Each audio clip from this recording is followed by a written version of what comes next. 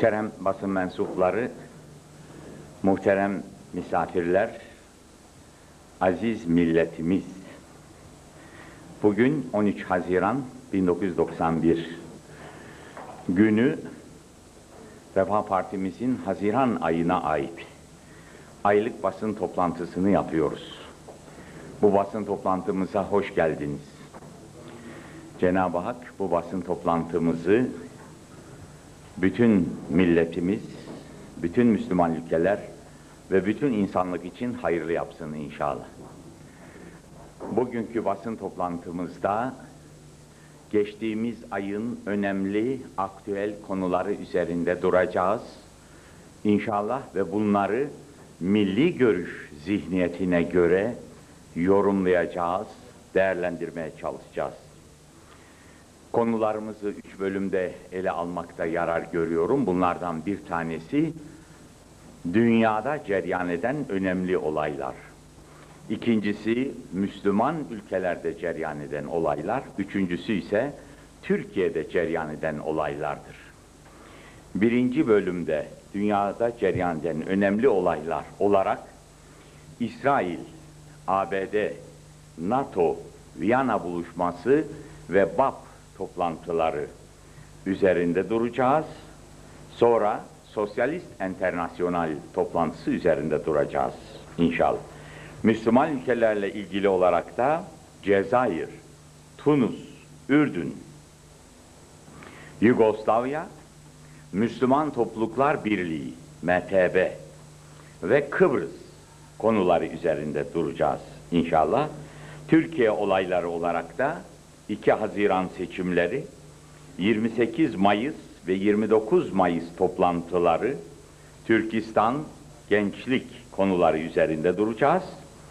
Sonra ANAP, Kongre, Ekonomik Kriz, İsraf, Sanat Komisyonu konuları üzerinde duracağız. Sonra SHP ve DYP üzerinde kısaca duracağız ve ondan sonra da erken seçim konusu üzerinde duracağız inşallah. Önce dünya olaylarına bakış yapmakla basın toplantımıza başlıyoruz. İsrail, ABD, NATO, Viyana buluşması ve BAP konularından İsrail üzerindeyiz. Bilindiği gibi dünya siyonizmi İsrail'i kurabilmek için 1897 Bazel Konferansı kararları mucibince emperyalist ülkeleri alet ederek Birinci Cihan Harbi'ni çıkarttı, Osmanlı Devleti'ni yıktı ve bütün Müslüman ülkeleri emperyalist ülkelerin işgaline zemin hazırladı. Bu meyanda ileride İsrail'in kurulmasına gizli ve özel surette hazırlık yapılabilmesi için 1400 yıllık Müslüman ülkesi olan Filistin özellikle İngilizlerin işgaline tevdi edildi. İngilizler planlı bir şekilde Filistin'de Müslümanları ezdiler. Yahudi göçünü teşvik ettiler. Müslümanların topraklarını ve mallarını zorla gasp ederek Yahudilere verdiler. Yahudileri İsrail'in kurulması için tahrik ettiler. Bu dönemde bazı Yahudi terörist ve militanlardan ölenler oldu. Esasen bugünkü İsrail'in Başbakanı İzak Şamir de işte o teröristlerden birisidir. Bu İzak Şamir geçen hafta sözde İngiliz mandası döneminde öldürülen Yahudiler anısına bir toplantı yaptırıyor ve burada yaptığı konuşmada aynen şunları söylüyor. İsrail önemli günler yaşamaktadır. Uçaklarımız Lübnan'ı bombalıyor. Bir yandan da ülkemize akın akın yeni göçmenler geliyor demiştir ve bütün bu gayretli çalışmalar ne maksatla yaptıklarını açıkça ortaya koymak üzere de mirasımıza olan güvenimiz, İsrail halkının sarsılmaz direnci ve daha büyük İsrail'e bağlılığımız bizi bugünlere getirdi açıklamasını yapmıştır. Ayrıca bu maksatla Mayıs ayında Etopya'dan falaşalar yani siyah Yahudileri ve 1989'dan bu yana son bir buçuk yıl içinde sayıları 250 bine ulaşan Sovyet Yahudisinin de İsrail'e getirildiğini iftiharla ortaya koymuştur. Diğer yandan SHP'nin ev sahipliğini yaptığı Sosyalist Enternasyonel'e davet edilen İsrail İşçi Partisi lideri Simon Perez de Türkiye ile ilişkilerimizin Mısır'la olan ilişkilerimizden daha iyi olması gerekir. Kudüs'ün İsrail egemenliği altında olması şarttır. Bunda ısrarlı ve kararlıyız. Bizim için bir milyon Arabı içimize alıp eritmeye çalışmaktan bir milyon Yahudi göçmeni içimize alıp bünyemizi takviye etmek daha faydalıdır. Türkiye elindeki su ile bölgedeki barışa büyük katkıda bulunabilir. Türkiye yönetimi ile İsrail arasında en ufak bir anlaşmazlık yoktur. Sözleriyle İsrail'in amaçlarının ne olduğunu aynen teyit etmektedir. Bu deliller zaten bilinen ve bizim de defaatle ve ısrarla üzerinde durduğumuz Büyük İsrail adımının bir an evvel atılmak istendiğini açıkça ortaya koymaktadır. ABD ve işte ABD'nin ibret alınacak art maksatlı davranışları. Bundan önceki basın toplantımızda da belirttiğimiz gibi o ABD ki Büyük İsrail'in bir an evvel ve kolayca kurulması için dünya Siyonizminin İsrail'e karşı bir tehdit unsuru olarak gördüğü Müslüman Irak'ın Kuveyt'i işgal ettiğini ve Birleşmiş Milletler kararlarına uymadığını bahane ederek 43 günde 100 bin çıkış yaparak 100 bin ton bomba atmış ve Irak'ta taş üzerinde taş bırakmamıştır. Buna mukabil sıra İsrail'e gelince daha 40 yıl evvel haksız olarak İsrail'in kurulmasına fiilen iştirak etmiş, hatta öncülük yapmış, o günden bugüne kadar mütecaviz İsrail'in bütün haksız tecavüzlerini desteklemiş, mükafatlandırmış ve Irak Harbi'nden sonra da göstermelik olarak İsrail'in de haksız olarak işgal ettiği topraklardan çekilmesini ve Birleşmiş Milletler'in bu hususla ilgili pek çok kararını dinlememekten vazgeçmesi lazım geldiğini ifade etmiş ve bunu temin edeceğini ileri sürmüştür. Ancak fiiliyatta ve gerçekte ne yapmıştır ve ne yapmaktadır?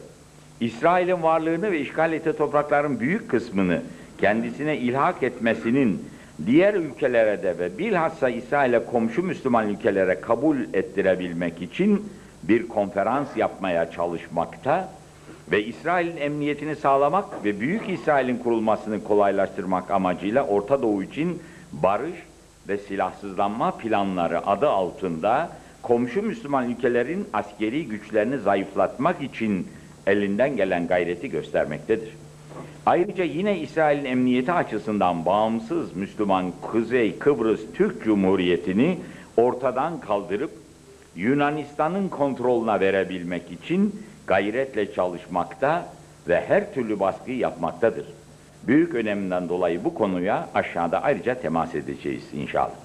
Eğer ABD zerre kadar hakkaniyetle alakası olan ve çifte standart uygulamayan bir ülke olsaydı, Körfez Harbi'nin arkasından şimdiye kadar Irak'a yaptığının çok daha şiddetlisini İsrail'e yapardı ve bu ara yerde geçen süre esnasında 100 bin çıkışla 100 bin ton bombayı bu defa da İsrail'in üzerine yağdırması gerekirdi.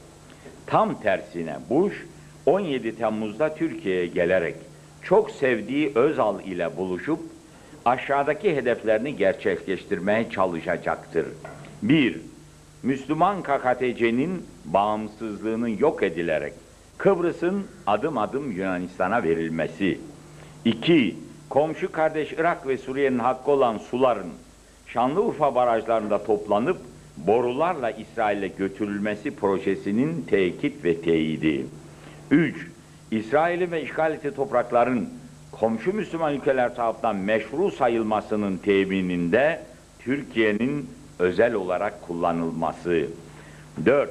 Büyük İsrail projesinin kolaylıkla gerçekleşebilmesi için İsrail'e komşu olan Müslüman ülkelerin silahsızlandırılmasında Türkiye'nin alet olarak kullanılması ve emperyalizm ve İsrail menfaatlerinin korunabilmesi için Türkiye'nin yeni çevik kuvvetlere üs vermesi ve emperyalizmin jandarmalık görevini üstlenmesi Özal'ın tabiriyle stratejik işbirliğinin sağlanması.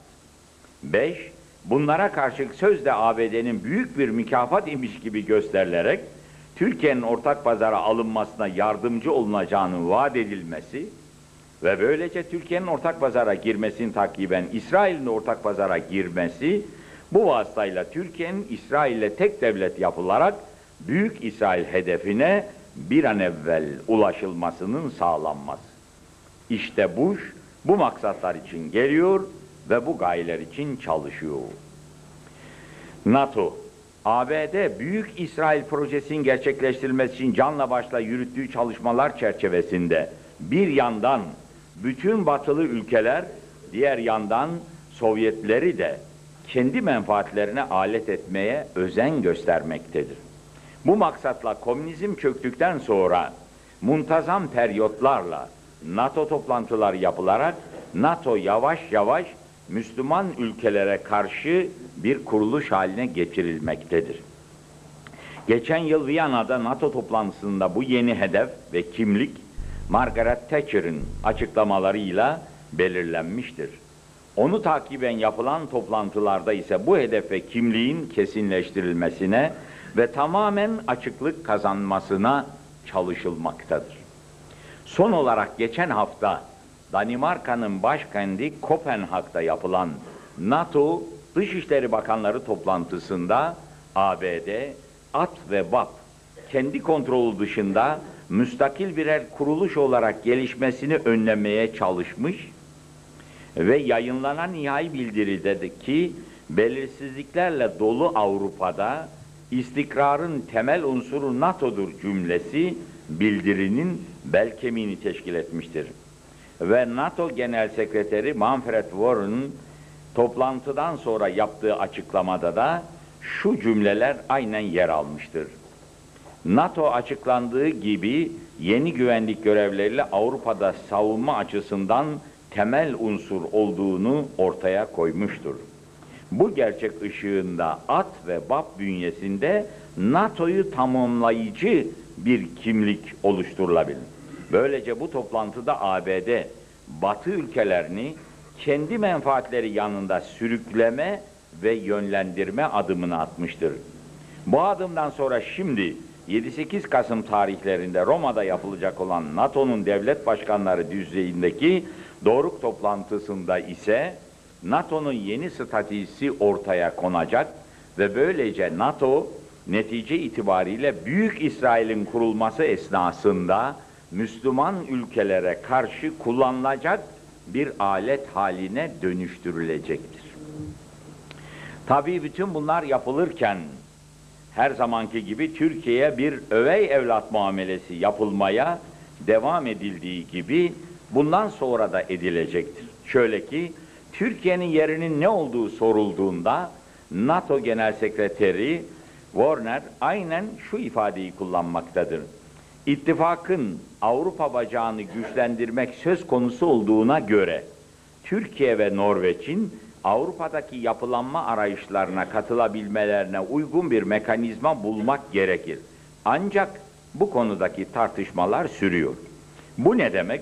Bunun anlamı erbabınca açıktır ve şu demektir. Türkiye her zamanki gibi uşağımızdır. Belli bir yerinin olması şart değildir. Nereye koyarsak orada hizmet eder.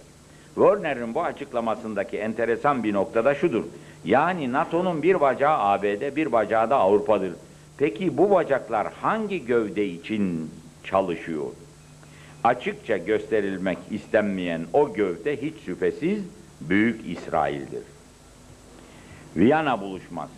Yukarıda da açıkladığımız gibi ABD, Büyük İsrail projesi için çalışırken sadece Batı Avrupa'yı değil, Sovyetleri de kendi menfaatlerine alet etmek için gayretle çalışmaktadır.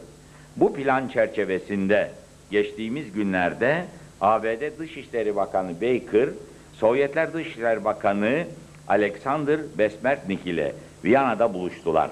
Yine aynı plan çerçevesinde ABD bir ay sonra Londra'da toplanacak olan 7 gelişmiş sanayi ülkesi zirve toplantısına katılması için Gorbaçov'un bu toplantıya katılması için yeşil ışık yakmıştır. Viyana buluşmasının iki maksadı vardır. Bunlardan birisi bu yıl sona ermeden önce gerçekleştirmek istenen Bush-Gorbaçov buluşmasına hazırlık, diğeri ise konvansiyonel silahlardaki indirim konusunda anlaşmak.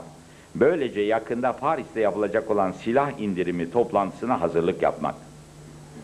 ABD silah indirimi adı altındaki çalışmalarda ne gaye güdüyor? Zahiren silahlar indirilsin, yeryüzünde barış hakim olsun görüntüsü sergilenmektedir. Gerçeklerde ise Sovyetler Birliği'nin ekonomik sıkıntılarından yararlanarak silahların hakikaten indirilmesi ama böylece maksat yeryüzünde barışa ulaşılması değil, silah bakımından zayıflatılmış bir Sovyetlerin bir yandan halen ne pahasına olursa olsun yürütülmesine devam eden ve bu pazarlıkların dışında tutulmasına özen gösterilen yıldız projeleri vasıtasıyla diğer yandan ABD'nin silah sanayindeki teknolojik ve üretim kapasite üstünlüğü sayesinde ABD arzularına muhalefet edemeyecek bir uydu haline getirilmesi. Böylece emperyalizm ve siyonizmin tek dünya, tek devlet, tek otorite prensibinin gerçekleştirilmesi. Ve yine aynı temel plan çerçevesinde ABD Savunma Bakanı Richard Cheney'nin birkaç gün önce Boston'daki Dünya Sorunları Konferans Salonu'nda yaptığı konuşmasında Batı dünyasının Sovyetlerin ekonomik bulandımı atlatması için yardıma koşmaya hazır olduğunu, ne var ki bu yardımın Sovyetler Birliği'nin demokrasi hedefine yönelmesi ve askeri devlet kimliğinden arınmasından bağımsız olarak düşünülemeyeceğini belirtmiştir. Cheney'nin bu sözlerinin manası nedir? Sovyetler Birliği'nin askeri yapısı ve gücü zayıflamalıdır. Sovyetler Birliği faizci kapitalist sisteme bir an evvel geçmelidir. Sovyetler Birliği'nin her bir cumhuriyeti emperyalizminden ağır faizlerle kredi almalıdır. Böylece hem emperyalizmin güdümü altına girmeli hem de emperyalizme büyük faizler ödeyerek sömürülmelidir. BAP Geçtiğimiz günlerin diğer önemli bir olayı da Özal'ın Batı Avrupa Birliği BAP Asamblesi'nde 216 parlamenter ve gözlemciye hitap etmesidir. Bilindiği gibi Fransa, NATO'nun askeri kanadına dahil değildir. Avrupa'nın savunmasının ABD'ye bağlı olmaksızın yapılabilmesini düşünmektedir. Almanya ile de dirsek teması kurarak 8 Avrupa ülkesinin bir araya gelmesiyle yeni bir birlik kurmuştur. Bu birliğin içinde İngiltere ve Hollanda Avrupa'nın bağımsız bir savunması olduğunda Almanya'nın inisiyatif kazanmasından korkmaktadır. Onun için BAB'ın NATO içinde yer almasını istemektedirler. Her halükarda BAB, Batı Avrupa ülkelerinin yeni bir oluşumudur ve henüz Yunanistan bile BAB'ın üyesi değildir. Fransa BAB'a üye alınabilmesi için at üye olunmasını şart koşmaktadır. Dolayısıyla Türkiye'de BAB'a üye değildir ve gelecekte üye olması da söz konusu değil.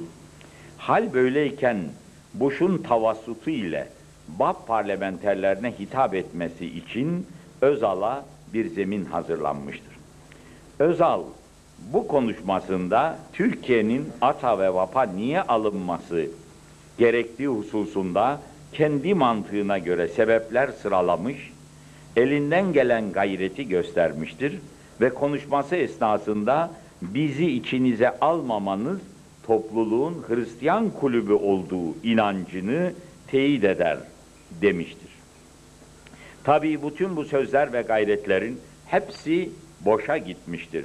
Bazı Hollandalı diplomatların ifadeleriyle Bab'ın dönem başkanı olan Fransa, Özal'ın asambleye davet ederek ona bir çiçek uzatmış oluyor. Ama bu baba tam üye olmak için bir işaret anlamına gelmiyor. Sadece Türkiye'nin Körfez Savaşı'nda Batı'nın yanında yer almasından duyulan memnuniyeti gösteriyor. Açıklamasını yapmışlardır. Görüldüğü gibi Özal'ın Paris'e gitmesi ve BAP parlamenterleri önünde konuşması ne Türkiye'nin ata alınması ne de BAP'a girmesi için bir fayda sağlamamış. Sadece olsa olsa Sayın Semra Özal'ın bu vesileyle Paris ilkbahar modasını görmesi bakımından faydalı olmuştur.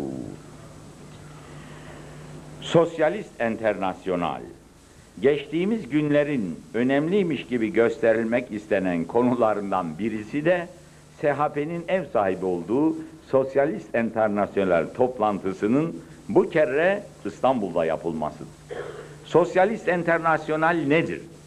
Bilindiği gibi bu kuruluş eskiden komünizmin bir kolu olarak tanıtılırdı. Komünizmin çöküşünden sonra Sosyalist Enternasyonale dahil olan solcu partiler hem kendilerinin hem bu kuruluşun komünizmin bir şubesi olmadıklarını bilakis faizci kapitalizme sadık birer kuruluş olduklarını ifade etmeye özen göstermişlerdi. Diğer bir ifadeyle sözlerinden anlaşılan kendilerinin bizim tabirimizle pansumancılar olduklarıdır. Nitekim iddialarına bakılırsa faizci kapitalizm vahşice insanları ezmekte ve sömürmektedir. Bunlar ise aynı sistemin tahribat ve zulmunu bir takım pansuman tedbirleriyle azaltmaya çalışan kimselermiş. Halbuki bilindiği gibi Batı medeniyetleri kuvveti üstün tutan bir medeniyettir. Üç asırdan beri yeryüzüne hakimdir ve insanlığa iki koldan zulmetmektedir. Bu iki koldan birisi komünizm, diğeri de kapitalizmdir. Bu iki kol iki ikiz kardeştir. Temelde birbirinin aynıdır. Kuvveti üstün tutarlar. Bundan dolayı ikisi de birer ezen ezilen sistemin. Komünizm iflas etti. Kapitalizm ise emperyalizm ve siyonizmin sömürü aracıdır. İnsanlığa zulmediyor. Ama emperyalizmin sömürü aracı olması nedeniyle sunni tedbirlerle yaşatılmasına çalışılıyor. Gerçekte o da çökmeye başlamıştır. Bu yüzden komünizmin çökmesiyle her türlü solculukta çökmüştür. Biz kapitalizmin pansumancılarıyız demekle bu temelden her bakımdan sakat sistemin yürütülmesi ve yaşatılması mümkün değil.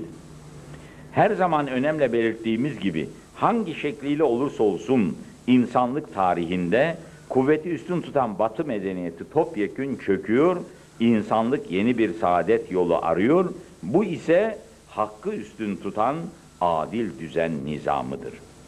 Bu toplantı münasebetiyle Willy Brandt, Kürdistan Yurtsever Birliği lideri Talabani, Lübnan Dürzi lideri Velid Canbolat, İsrail İşçi Partisi lideri Simon Peres ve Kıbrıs Rum Edek Sosyalist Partisi Genel Sekreteri Hacı Dimitriyu gibi kimseler Türkiye'de bir araya geldiler. Fikir ve görüşlerini açıkladılar. Bir kısım basında bu toplantıya ve açıklanan fikirlere geniş yer verdiler. Türkiye'de her türlü fikrin konuşulabilmesi ve Türkiye'nin misafirperver bir ülke olarak bunlara ev sahipliği yapması memnuniyetle karşılanacak bir olaydır. Ancak önemli olan konu. Acaba aynı Türkiye ve aynı basın yarın Müslüman ülkelerin temsilcileri gelip de Türkiye'de bu tür toplantılar yaptıkları zaman bu kimselere de aynı misafirperverliği gösterip sütunlarında konuşulanlara aynı geniş yeri vererek aynı ilgi gösterecekler mi? Yoksa her zaman olduğu gibi çifte standart mı kullanacaklardır? Tunus liderleri, Müslümanları lideri Sayın Gannuşi'nin bir müddet önce Türkiye'ye gelmesine, görüş ve fikirlerini açıklamasına bugünkü iktidar neden mani olmuştur? Müslüman ülkelerle ilgili olaylar. Cezayir, Tunus, Ürdün. Önce Cezayir'in üzerinde duracağız inşallah. Bilindiği gibi Cezayir uzun yıllar emperyalizmin işgali altında kalarak büyük zulümler gördü. Fransızlar bu işgal sırası esnasında Müslümanların tahsil yapmasını engellediler. Cezayir'in bütün zenginliklerini sömürdüler. Ahlaki ve sosyal yönden Cezayir'i dejener etmek için her yola başvurdu. Bununla beraber Cezayir'deki Müslümanların kalbindeki bağımsızlık aşkını söndüremediler. Kahire'de Eser Üniversitesi'ne tahsil yaparak Müslümanlığın ne olduğunu öğrenen aydınlar, ülkelerine döndükten sonra Cezayir'deki camilerde Müslümanları şuurlandırdılar ve Cezayir'in kurtuluş hareketi böylece başlatıldı. Uzun yıllar süren Kurtuluş Savaşı'ndan sonra Fransızlar Cezayir'in bağımsızlığını tanımaya mecbur kaldı. 1965 yılında bağımsızlığına kavuştuktan sonra Cezayir'in yönetimi hiçbir zaman emperyalizmin bir kuklası olan Fransız yönetiminin tasallutundan kurtulmadı. Fransızlar Cezayir'de bir İslam devletinin kurulmaması için Cezayir'i her zaman kontrol ettiler. Birçok defalarda darbeler yaptırdılar. Bütün bu olaylar cereyan ederken 26 yıl boyunca Cezayir'i zahiren Sosyalist Ulusal Kurtuluş Cephesi Partisi idare ediyor gözüküyor. Son olarak devlet başkanlığına Şazli Bin Ceded gelmişti. Ancak Marksist Sosyalist tek partili rejim tıpkı komünist ülkelerde olduğu gibi Cezayir'in gelişmesine mani olmuş, Cezayir'in çalışkan halkı petrol ve zengin madenlerin sahibi olmasına rağmen hep sömürülmüş ve halk fakir kalmıştır. Bu durum karşısında Cezayir'deki şuurlu Müslümanlar son yıllarda organize oldular ve ülkeyi bu geri kalmışlardan ve sömürüden kurtarmak için harekete geçtiler. 5 Ekim 1988'de vuku bulan şiddetli halk protestoları karşısında 27 yıl iktidarı elinde tutan Milli Kurtuluş Cephesi yani eski mevcut parti FLN köklü reformların yapılmasına razı oldu. 23 Şubat 1989'da çok partili demokratik sisteme geçmeyi öngören yeni anayasa görüşüldü ve halk oyuyla kabul edildi. 10 Ekim 1989'da Mevlut Hamrus hükümeti kuruldu. Bu yeni hükümet 14 Eylül 1989'da İslami Kurtuluş Cephesi Partisi'nin kuruluşunu resmen tanıdı. 12 Haziran 1990 tarihinde yapılan mahalli seçimlerde Abbas Medeni Başkanlığındaki İslami Kurtuluş Cephesi toplam oyların yüzde 60'ını alarak büyük bir zafer kazandı. Böylece 1965'ten beri yönetimi elinde bulunan Milli Kurtuluş Cephesi Partisi büyük bir hezimete uğradı. Bir yıl sonra yani 1991 yılında yapılacak olan seçimlerde İslami Kurtuluş Cephesi'nin seçimi kazanarak Cezayir'de halk iradesiyle bir İslam devletinin kurulması böylece mukadder hale geldi. Ancak ne var ki bu durum karşısında daha 12 Haziran 1990 seçimlerinin hemen arkasından Fransa alarma geçti ve Cezayir'de bir İslam devletinin kurulmaması için her türlü hile ve desiseye başvurdu. Yapılan gizli planlar gereği bir yandan yeni İslami partilerin kurulması için her türlü teşvik ve gayret gösterildi. Diğer yandan da bütün Müslüman ülkelerde oynanan hileli senaryolara başvuruldu. Önce belediyeler kanunu değiştirilerek çoğunluğu İslami Kurtuluş Cephesi'nde olan belediyelerin her türlü tahsisatı kesildi ve bunların hiçbir hizmet yapmamalarına çalışıldı. Seçim tarihinin ilanı da mümkün olduğu kadar geciktirildi. Bundan sonra ansızın haksız ve hileli bir seçim kanunu ilan edilerek seçimlerin 27 Haziran 1991 ve 18 Temmuz 1991 tarihinde iki kademeli olarak yapılacağı ilan edildi. Haksız yeni seçim kanunun süratle meclisten geçirilerek ilan edilmesi 1 Nisan 1991'de oldu. İki kademeli seçim yapılacağının ilanı da 4 Nisan 1991 tarihinde yapıldı. Seçim kanununda düşünülen hile şudur. Cezayir'de 25 milyon Müslüman vardır. Yüzde 75'i 30 yaşın altında genç nüfustur. Bu büyük nüfusun çoğunluğu Akdeniz'in sahil bölgelerinde yaşamaktadır ve bu genç nüfus İslam Partisi'ne oy vermektedir. Cezayir'in Sahra bölgesindeki okumamış halk ise hükümet korkusuyla eski partiye oy vermektedir. Mahalli seçim sırasında seçim bölgeleri nüfusa göre ayrılmıştı ve alınan oya göre adaylar seçimi kazanıyorlar. Halbuki yeni hileli seçim kanununda ülke nüfusa bakılmaksızın coğrafi bölgelere ayrıldı. Her bölgeden parlamentoya eşit miktarda üyenin girmesi esası getirildi. Ve nüfusun çok olduğu sahil kısmına az bölge, nüfusun çok az olduğu sahra kısmına ise bir sürü bölge dolduruldu. Bu seçim bölgeleri tespit edilirken 12 Haziran 1990 seçim neticeleri göz önünde bulundurdu. Baştan beri hesaplar İslam Partisi'nin yüzde 60 oyuna bak mukabil meclisin yüzde 30'unu teşkil etmesi.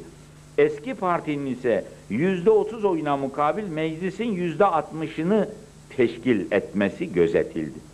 Bir yandan yeni partiler kurdularak İslam Partisi'nin bölünme, bölünmesine çalışırken diğer yandan böyle haksız bir seçim kanunuyla hile yapılmak istenince İslam Partisi'nin yöneticileri bu haksızlığa razı olamayacaklarını ilan ettiler. Ve bunun derhal düzeltilmesini, adil bir seçim kanunu yapılmasını, parlamento seçimiyle birlikte Cumhurbaşkanı seçiminde yapılmasını istediler. Görüyoruz ki Müslüman ülkelere karşı dünyanın her yerinde aynı rejisör bu işleri sahneliyor. Ha Türkiye, ha Mısır, ha Cezayir. Rejisör aynı, hile aynı, oyun aynıdır.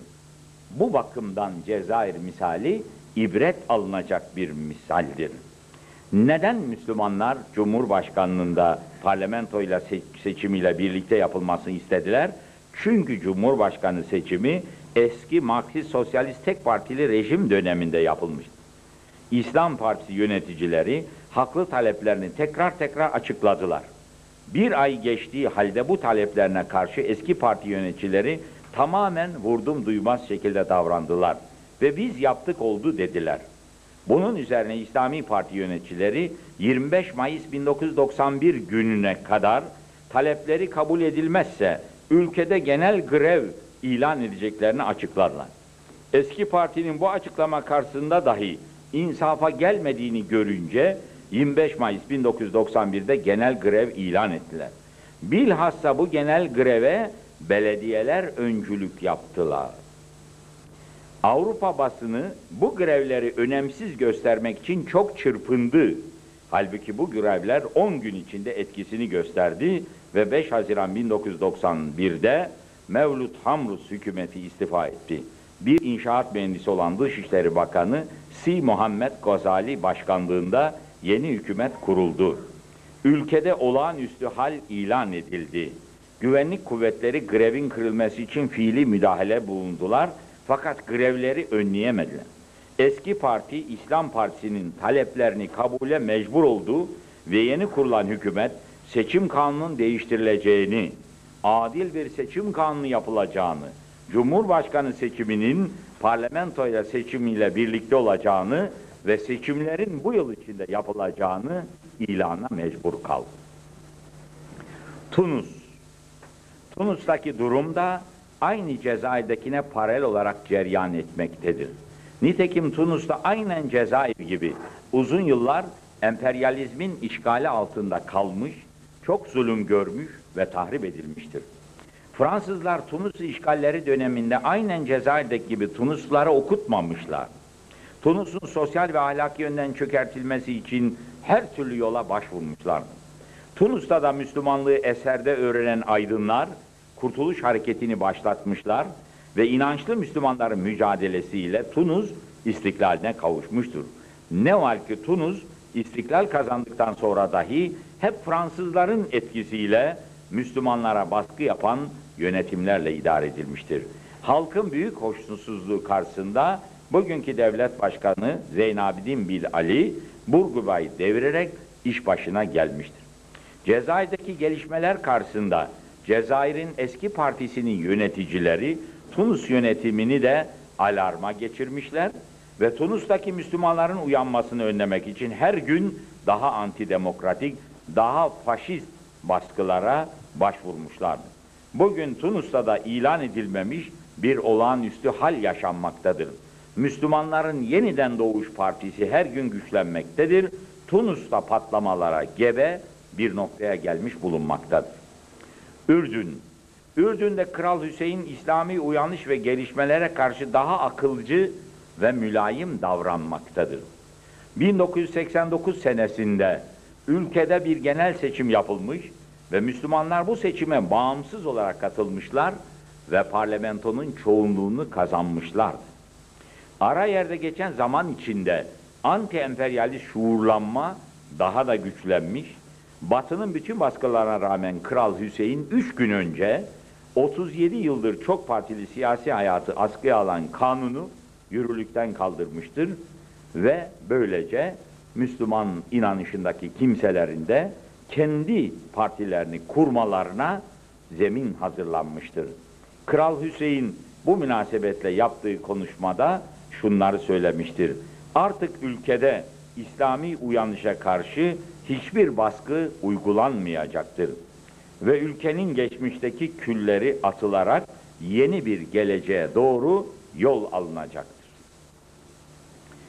Yugoslavya Komünizmin yıkılmasını takiben bütün Doğu bloku ülkelerinde olduğu gibi Yugoslavya'da da yeniden yapılanma dönemine girilmiştir. Bu değişikliğin arkasından bugün artık Yugoslavya'da bir Müslüman cumhuriyet meydana gelmiştir. Bu da Bosna Hersek Cumhuriyeti'dir. Bosna Hersek'in bir Müslüman cumhuriyet olarak ortaya çıkması siyasi gözlemciler tarafından bir yandan bütün Avrupa'yı eski Roma Yunan medeniyetine dayalı ve sıfır saf Hristiyan kültürünün ürünü olarak niteleyen at başkanı Jacques Delors'un büyük bir darbe olarak Jacques Delors'un fikirlerine karşı büyük bir darbe olarak vurgulanmaktadır.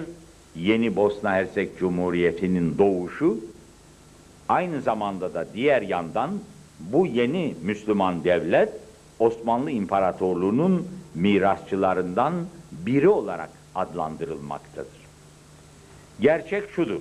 Yugoslavya'da halen 8 milyon Müslüman, 8 milyon Sırp ve 5 milyonda Hırvat yaşamaktadır. Tito hep ırkçılık yapmış ve haksız olarak Yugoslavya'da Sırplara üstünlük vermeye çalışmış ve ordunun yüzde yetmişinin bilhassa ordunun üst rütbeli subaylarının Sırplardan oluşmasına özen göstermiştir. Tito'nun komünist faşist rejimi altında Yugoslavya'da altı devlet bir federasyon halinde yönetilmişlerdir. Tito'nun ölümünden sonra bu federe devletler belli bir süre için bir devlet başkanı seçerek ülkeyi yönettiler. Ancak komünizmin yıkılışından sonra Yugoslavya yeniden yapılandı ve 8 bölgede 6 cumhuriyet doğdu. Sırplar halen komünizme bağlı partinin kontrolü altında bulunmakta, diğer bölgelerde ise demokrasiye geçilmiş bulunmaktadır.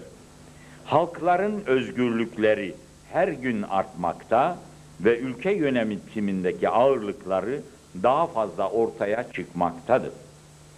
Bosna Hersek'in nüfusunun yüzde 47'sini Müslümanlar, yüzde 37'sini Sırplar ve yüzde 17'sini de Hırvatlar oluşturmaktadır.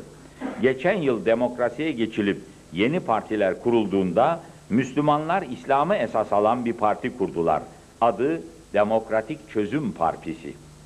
Bu yıl Şubat ayında yapılan seçimlerde Demokratik Çözüm Partisi oyların yüzde 60'ını kazanarak seçimi kazandı ve bu partinin genel başkanı İzzet Begoviç Bosna Hersek Cumhurbaşkanı oldu. Yugoslavya'da bundan başka Kosova, Sancak ve Makedonya bölgelerinde de çoğunluk Müslümanlardadır.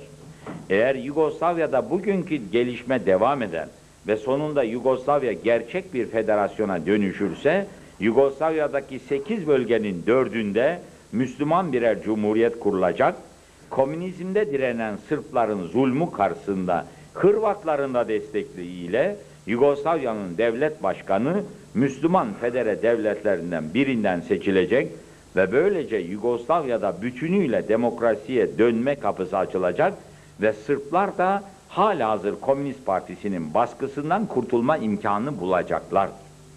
Ancak ne var ki bundan önceki Tito devrinde Müslümanlara zulmedilmiş ve Müslümanların çoğunlukta bulunduğu Sancak, Kosova ve Makedonya'ya özel devlet hakları verilmemiştir.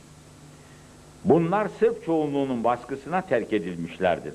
Müslümanlar insan haklı ve demokratik haklar istedikçe Sırp azınlık ordu vasıtasıyla onlara baskı yapmaktadır. Halbuki Müslümanlarla Hırvatlar Sırp azınlığa karşı ülkenin çoğunluğunu teşkil etmektedirler. İşte Yugoslavya'daki halihazır gerginliğin temel sebebi burada yatmaktadır. Bu gerginliğin insan haklarına saygılı bir şekilde çözüme kavuşması bölgeye huzur getirecektir.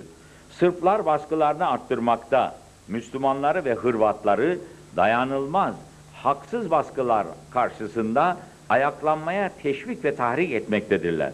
Maksatları silahlı bir çatışma başlarsa ellerindeki ordu çoğunluğu vasıtasıyla büyük bir soykırıma girişmektir. Sırplar böyle bir durum meydana gelirse Müslümanları soykırımına uğratmak için ABD ve Fransızlardan yardım alacaklarını ümit etmekte ve bunun propagandasını yapmaktadırlar. Emperyalizm ve Siyonizm Yugoslavya'daki Müslümanlara karşı da çifte standart uygulamakta ve Yugoslavya'da insan haklarının değil, baskının hakim olmasına çalışmaktadırlar. Yugoslavya'daki Müslümanların, Hırvatların ve netice olarak Sırpların da insan haklarına kavuşabilmesi için Türkiye'deki yönetimin emperyalizmden yana bir yönetim olması yerine kuvveti değil, hakkı üstün tutan bir yönetim olmasının çok büyük hayati önemi bulunmaktadır.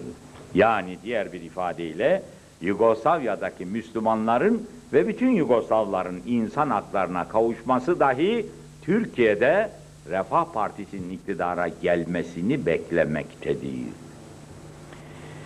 MTB bundan önceki basın toplantılarımızdaki açıklamalarımızda birçok defalar yeryüzündeki bir buçuk milyar Müslümanın 46 bağımsız, 40'a yakın başka idarelere bağımlı Müslüman topluluklar halinde yaşadıklarını belirtmiştik. Halen Sovyetler Birliği'ni teşkil eden 13 Cumhuriyet'in 5'inde çoğunluk Müslümanlardadır. Ve Sovyetler Birliği'nde toplam olarak 300 milyon nüfus içinde 105 milyon Müslüman yaşamaktadır. Çin'de 80 milyon Müslüman vardır. Yugoslavya'da 8 milyon, Bulgaristan'da 3 milyon, Yunanistan'da 500 bin, Romanya'da 200 bin Müslüman bulunmakta. Doğu ve Batı Avrupa ülkelerinde ayrıca 30 milyon, Amerika'da 6 milyon, Avustralya'da 1 milyon Müslüman yaşamaktadır. Kuvveti üstün tutan Batı emperyalizminin sömürü, zulüm ve haksız tecavüzler arttıkça Müslüman ülkelerde anti-emperyalist şuurlanma gittikçe artmakta ve güçlenmektedir. Müslüman ülkelerin yönetimlerinin bir kısmı emperyalizmin etkisinde ve paralelinde bulundukları için Müslüman toplulukların menfaatleri korunamamaktadır. Bu şartlar Müslüman Topluluklar Birliği'nin kurulmasını gerektirmiştir. Müslüman toplulukların temsilcileri zaman zaman bir araya gelmekte ve aralarındaki dayanışmayı arttırmak ve emperyalizmin ve siyonizmin Müslüman topluluklara vaki haksız tecavüzlerini önlemeye çalışmaktadırlar. Son olarak Eser Üniversitesi'nde Körfez Savaşı'nın iktisadi, sosyal ve ahlaki tesirli, tesirleri konulu bir toplantı yapıldı. Yüzden fazla bilim adamının katıldığı ve dört gün süren bu toplantıdan sonra İslam aleminin yöneticilerinden acilen şu kararları almaları çağrısında bulunuldu. Bir, İslam aleminin müşterek savunma sisteminin derhal kurulması. İki, İslam aleminin her bölgesinde o bölgeye şamil bir iktisadi kalkınma programı derhal yürürlüğe konması ve İslam ortak pazarının kurulması. Üç, Müslüman topluluklarıyla yakın ilişkilere geçilerek Siyonist propagandaya karşı verilen mücadelelere onların da katkıda bulunmalarının sağlanması. Görüldüğü gibi 21 yıldan beri yaptığımız çalışmalar, ortaya attığımız teklifler, çözümler boşa gitmemektedir. Şimdi artık bütün Müslüman topluluklar bu toplulukla ilgili olarak eskiden beri söylediğimiz beş adımı benimsemiş bulunmaktadırlar. Bizim davet edildiğimiz halde katılma imkanı bulamadığımız bu toplantıda dahi artık bütün Müslüman toplulukların ileri gelenleri aynı gayeleri benimseyip ortaya koymaktadırlar. Bu gerçekler Müslüman ülkeler açısından önemli bir gelişmeyi belirtmektedir. Ve Kıbrıs Yukarıda da belirttiğimiz gibi ABD yöneticileri sık sık kendileri için bir numaralı meselenin İsrail'in emniyeti olduğunu ifade etmekte ve bir an evvel Büyük İsrail'in kurulması için çalışırken Orta Doğu'da yeni düzenlemeler, plan ve projelerin arasında bağımsız Müslüman KKTC devletini ortadan kaldırıp Kıbrıs'ın adım adım Yunanistan'a verilmesi için ellerinden gelen her türlü gayreti göstermektedirler. Körfez Harbi'nden sonra bu yolda baskılar arttırıldı. 15 gün evvel gerçekleşen Bush-Vasilyu görüşmesi hakkında Beyaz Saray Sörcüsü Martin Fritzwater açıklama yaparken şunları söylemiştir. İki lider Kıbrıs sorunu üzerinde kapsamlı ve tam bir görüşme yaptılar. Başkan Bush, Birleşmiş Milletler Genel Sekreterinin bu yaza dek Kıbrıs sonuna ilişkin bir çerçeve anlaşmasına varılması yolundaki çabalarını desteklemek için mümkün olan her şeyi yapmayı sürdürmeye Amerika Birleşik Devletleri'nin niyetli olduğunu ifade etti. Bu açıklamadan sonra Bush, ABD Kıbrıs Özel Koordinatörü Nelson Leski'yi Türkiye'ye gönder. Leski Dışişleri Bakanı Alp Demirçli'ne görüştü. Bilahare'de Denktaş ve Vasil ile görüşmek üzere Kıbrıs'a gitti. Şu anda Kıbrıs'ta bulunuyor. Leski'nin bu temaslar arasında Türkiye'yi Kıbrıs'ta toprak tavizi vermeye zorladığı haberleri basına sızdı. Leski'nin şu baskıyı yaptığı anlaşılıyor. Sizin Körfez Harbi zararlarınıza bir çare bulmamız için Kıbrıs meselesini çözmeniz gerekmektedir. Bunun için halen KKTC'nin sahip olduğu toprakların Kıbrıs'ın yüzde otuz altısından yüzde yirmi dokuza indirilmesi şarttır. Buna razı olursanız güneyden 55 bin Rum'u Kıbrıs'a, kuzeye getirip yerleştireceğiz. Yok eğer toprak oranını yüzde 25'e indirirseniz bu takdirde sadece 25 ila 30 bin Rum'u getirip kuzey bölgesine yerleştireceğiz. Diğer yandan Vasilyu yakında Kıbrıs konusu çözülecektir açıklamasını yapmaktadır. Bu açıklamayı Bush'la görüşmesine dayanarak ifade etmektedir. Öbür taraftan KKTC Meclis Başkanı Hakkı Atun ve beraberindeki heyet halen Washington'da ABD yönetimi ve kongresi nezdinde temaslar yapmaktadır. Bu temaslar hakkında açıklama yapan Atun, temaslarının son derece verimli geçtiğini, bilhassa ABD Kongresi tarafından çok sıcak karşılandıklarını, ancak kongre üyelerinin Türkiye'nin bir jest yaparak adadan bir miktar asker çekmesi gerektiğini belirtmiş, hemen herkesin adada bir anlaşmaya varılması ümidinde olduğunu söylemiştir. Atom Kongre'nin Rum sempatizanı üyelerinden demokrat temsilci Edward Ferkan'ınla yaptığı görüşme esnasında ise Ferkan'ın kendisine Özal Kıbrıs halletsin, kendisine Nobel Barış Ödülünü verdirelim dediğini açıklamıştı.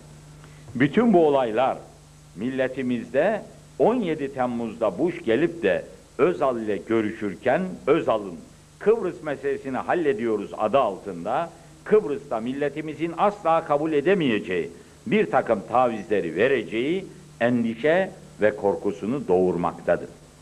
Esasen milletimiz bundan bir müddet önce Özal'ın dış seyahatlerin birinde Türkiye'den götürdüğü gazetecilerle konuşurken benden öncekiler Kıbrıs'ta bir miktar toprak vererek Kıbrıs meselesini çözmek akıllığını gösteremediler. Mealinde sözler sarf ettiği şeklinde haberler duyulmuştur ve bundan dolayı da milletimizin bu konudaki endişesi çok büyüktür. İşte bugünkü tarihi günde bu basın toplantımızda aziz milletimiz önünde bir kere daha haykırıyoruz ki hiç kimsenin şehit kanıyla alınmış KKTC topraklarından bir zerresini dahi Rumlara vermeye hakkı yoktur. Böyle bir yola tevessül edecek kimse kim olursa olsun bütün şehitlerimiz adına ondan bunun hesabını sormak bizim için bir vecibedir. Ve yine bir kere daha haykırıyoruz ki bizim Kıbrıs meselesi asla bir meselemiz yoktur. Kıbrıs'ta iki ayrı toplum, iki ayrı devlet vardır. Milletimiz büyük âli cenaplık göstererek asırlar boyu tamamı bizim olan ve yine tarihi vesikalarla sabit olduğu gibi hukuken de tamamı bugün de bizim olan Kıbrıs'ta. Rumların kendilerine bırakılmış bölgede diledikleri gibi yaşamalarına müsaade edilmiştir. İmkan verilmiştir. Rumlar bu nimetin kıymetini bilmelidirler.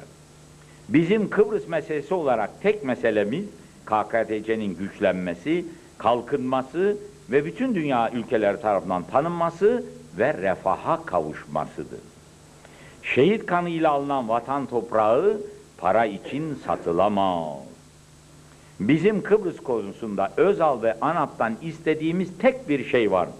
1974 Barış Harekatı'ndan beri, 17 yıldan beri fazla bir zaman geçti. O zamandan bugüne kadar bilhassa KKTC Cumhurbaşkanı Sayın Rauf Denktaş'ın kıymetli katkılarıyla Kıbrıs'ta kurtarılmış olan haklar muhafaza edilmiştir. Ne yaparsanız yapın. Şunun şurasında ANAP olarak en fazla bir yıl kadar ömrünüz kalır. Gelin her çareye başvurun. Hatta aç kalın, susuz kalın ama şehit kanıyla alınan toprakların parayla satılması kara lekesini alnınıza sürmeyin. İnşallah çok yakında tekrar geliyoruz ve Kıbrıs'ı bu badireden bir kere daha Allah'ın izniyle biz kurtaracağız. Türkiye olayları 2 Haziran seçimleri. Bilindiği gibi 2 Haziran pazar günü ülkemizin 20 yerinde mahalli seçimler yapıldı. Bu seçimlere yalnız Refah Partisi ve ANAP Partisi bütün bölgelerde tam aday kadrolarıyla girdiler. Diğer partilerin hepsinde daha seçime girerken birçok eksik ve noksanlıklar görüldü. Bu seçimlerin en önemlisi hiç şüphesiz Muş ilinde yapılan belediye meclis üyeleri seçimiydi. Doğu Anadolu'muzun bu çok önemli ve kıymetli il merkezinde yapılan seçimlerde Refah Partisi oyların yüzde 57'sini aldı ve Muş Belediye Meclisi'nin 15 üyesinden 12'sini Refah Partisi kazandı. Bu büyük bir zaferdir. Seçimden bir gün önce özel bir uçakla Muş'a gidip Refah Partisi'nin muhteşem ve muazzam mitingine katıldım. Muşlu kardeşlerimizin bir insan selini andıran coşkulu ve canlı topluluğu çok büyük bir mana ifade ediyor ve yakın geleceğe müjdeliyor. Muşlu kardeşlerimize yaptığımız konuşmada şunları söylemiştik. Öyle görünüyor ki yarın yapılacak seçimde Refah Partisi Muş'ta büyük bir zafer kazanacak inşallah. Ve böylece Muş ilimiz Refah Partisi'ne Türkiye'nin en büyük nispette oy veren ili olmak şerefine ulaşacak. Yani Muş ilimiz adil düzenin bayrağının dikildiği yer olacak. Bu ne demektir? Bilindiği gibi yeni bir dünya kuruluyor. Bundan önce dünyanın iki kutbu vardı. Biri ABD, diğeri Sovyetler Birliği'ydi. Biri kapitalizm, diğeri de komünizm. Komünizm çöktü ve yok oldu. Emperyalizmin ve faizci kapitalizmin merkezi olarak ABD yoluna devam ediyor. Onun karşısında yeni dünyanın kutbu adil düzendir. Bunun bayrağını ise yarından itibaren siz taşıyacaksınız. Böylece işte yeni dünyanın iki kutbu. Buş ve Muş. Muşlu kardeşlerimiz bizi mahcup etmediler. Oylarını verdiler, bayrağı devraldılar ve dünyanın yeni kutbu oldular. İki yıl evvel aynı Muş'ta aynı belediye seçimi için Refah Partisi'nin oy oranı sadece yüzde 33 idi. Şimdi bu oranın yüzde 50'ye çıkması çok ama çok büyük mana ifade etmektedir. 2 Haziran seçimlerinde Refah Partisi bütün seçim bölgelerinde en canlı çalışmayı yürütmüş ve hepsinde başa güreşmiştir. Esasen herkesin bildiği gibi 20 seçim bölgesinde asıl mücadele Refah Partisi ile ANAP arasında olmuştur. Refah Partisi inancıyla 80'den fazla belediyede yapılan başarılı hizmetleriyle milletimizin önüne çıkmış. Buna mukabil ANAP ise muazzam devlet imkanlarını partizan maksatlarına alet ederek parayla ve geçici olarak iktidar olmak aldatmacalarıyla milletin önüne çıkmıştır. Böylece inanç ve hizmet ile para ve aldatmaca savaşmış, Neticede mevcut şartlar altında inanç ve hizmet zaferi kazanmıştır. Refah Partisi'nin Erzurum'un Dadaş beldesinin belediye başkanlığıyla Kahramanmaraş Kale Belediye Başkanlığı'nı kazanması da çok büyük mana ifade etmektedir. Şimdi Refah Partisi'nin seçimleri kazandığı Muş'ta, Dadaş'ta ve Kale'de en başarılı hizmetler başlamıştır. İnşallah bayramdan sonra yüksek seviyeli belediye hizmetleri uzmanlarımızla birlikte seçimi kazandığımız üç yeni bölgemizi ziyaret edeceğiz. Halkımızı, belediye başkanı ve belediye meclis üyelerimizi tebrik edeceğiz. Ve uzmanlarımız şimdiden bu bölgelerin kalkınma planlarını hazırlayacaklar.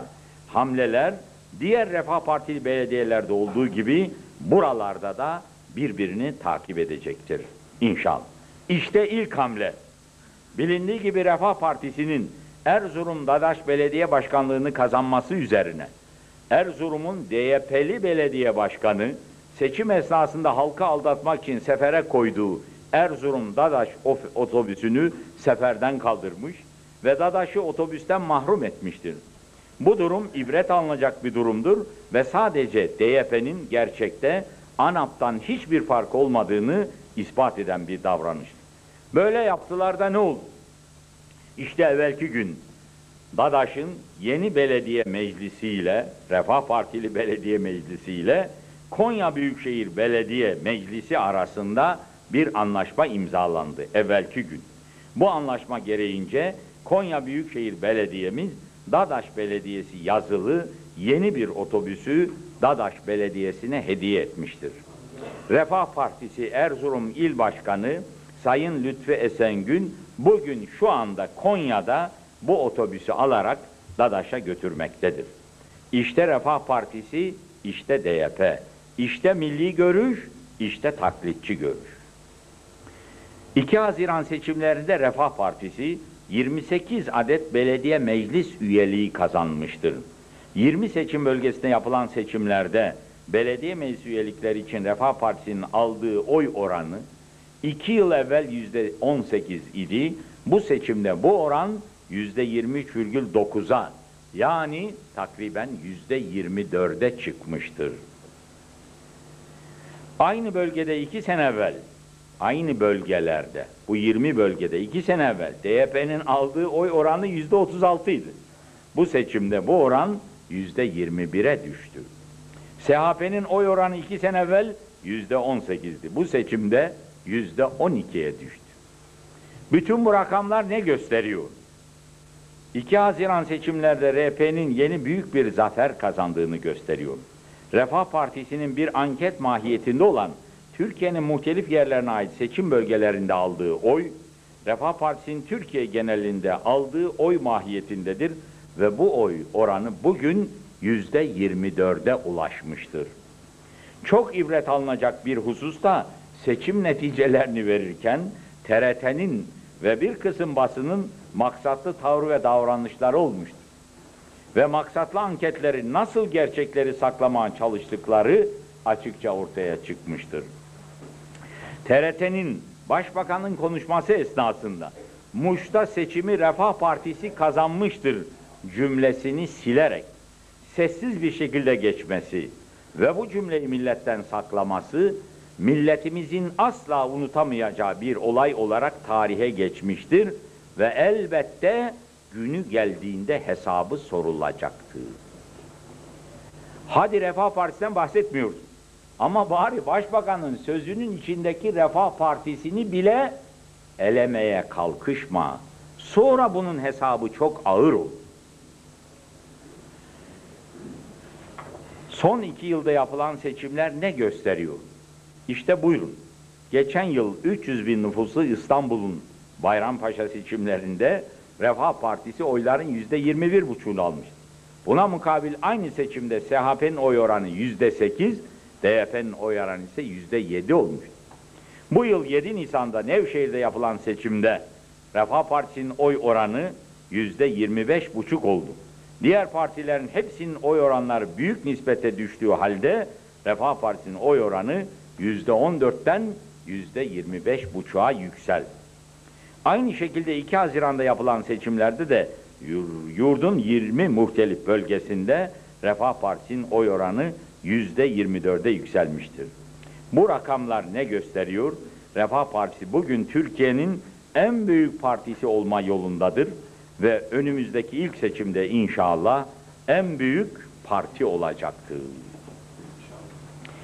Şimdi gelelim can çekişenlere.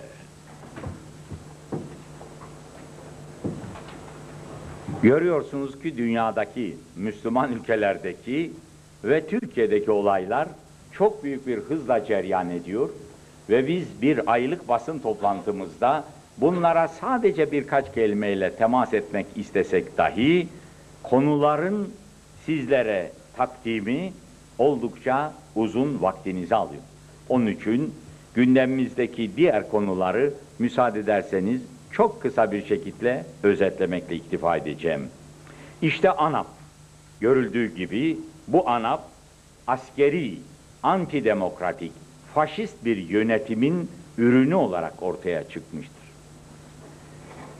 Memleketi üç sene elinde tutan bu yönetim bir takım vetolar kullanmış. Bir takım partileri emirle seçime sokmamış. Kendi yaptığı yeni anayasa ve partiler kanunu ertesi gün kendisi dahi dinlememiş.